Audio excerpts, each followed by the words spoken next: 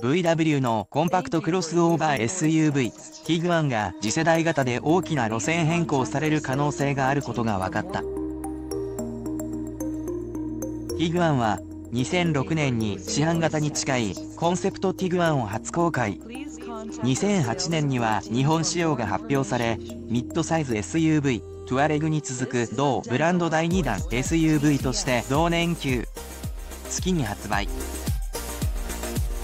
2016年にはコンパクトな本格クロスオーバー SUV デザインを継承する現行型が登場している A オートエクスプレス誌によると次世代型ではアグレッシブなルーフラインを持つクーペ SUV が予想されるという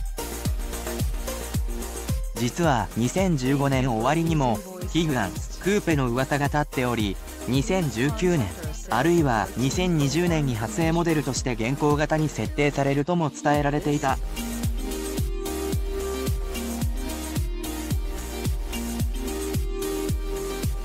しかし、この最新情報によると、どうやら派生モデルとしてではなく、ティグアンそのものがクーペ SUV に進化する可能性があるようだ。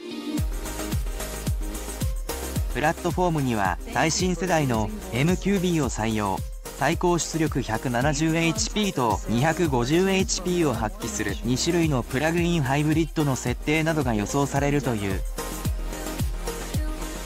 イグアンジ世代型の登場は2022年にも期待ができそうだ。